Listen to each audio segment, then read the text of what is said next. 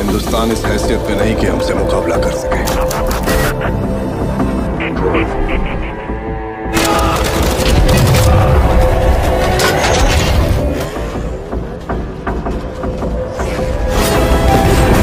मिल जाते हैं कुछ और ऑफिसर थोड़े पागल, थोड़े अड़ी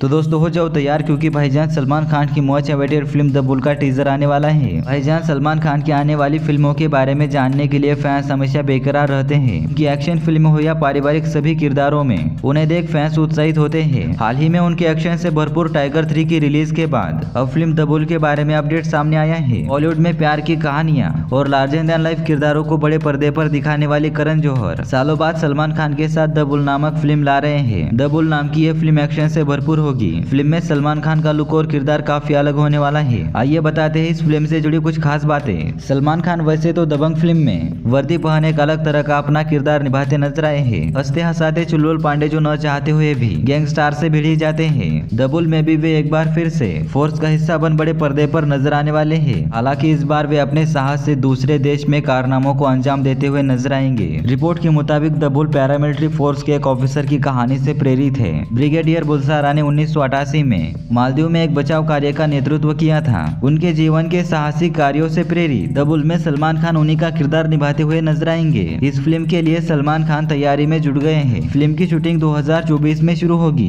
वही बताया जा रहा है की दबुल की अनाउंसमेंट भाईजान सलमान खान के बर्थडे के मौके पर होने वाली है और आपको बता दें, सत्ताईस दिसंबर को सलमान खान का बर्थडे है और इस खास मौके पर मेकर्स फ़िल्म की अनाउंसमेंट करना चाहते हैं। अब देखते हैं कल क्या आता है। वैसे आप कितने एक्साइटेड है इस फ़िल्म के लिए कमेंट करके ज़रूर बताना। बाकी अगर आप भी सलमान खान की डायहार्ट फ़ैन है तो ऐसे ही सलमान खान की मूवी से रिलेटेड हर एक अपडेट के लिए हमारे चैनल को सब्सक्राइब करें।